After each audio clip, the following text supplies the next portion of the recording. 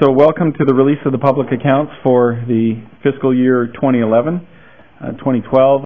Uh, so again, this year, uh, you can see that uh, British Columbia uh, has ended up, in fact, uh, we all remember in the first quarterly we had the results of the HST referendum, which means that we were required to book the entire $1.6 billion repayment to the federal government uh, in uh, that current uh, fiscal year, the 2011 fiscal year.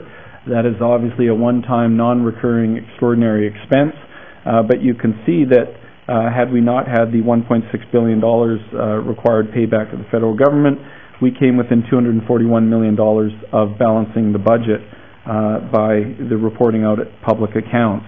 That is a $684 million reduction in spending, from budget, something that uh, we're very proud of. We've done, a, I think, a, a, very credible job of demonstrating discipline in government in terms of uh, reducing spending, and that's something that uh, will not be unnoticed uh, or go unnoticed by the uh, credit rating agencies and the investment community. You can see that um, the annual deficit, therefore, is uh, $1.84 billion, which is down from the third quarter or the budget amount of uh, almost uh, $2.9 Uh, billion. Uh, program spending uh, was held to 2.6%.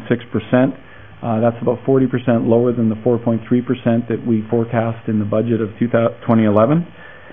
Taxpayer-supported debt to GDP is a key indicator, as you know, that the credit rating agencies and the investment communities look at in terms of government's ability to manage its debt is 16.4%, which is below the 17.5% that was forecast in the budget, so that will be uh, certainly viewed as a positive, uh, another positive sign.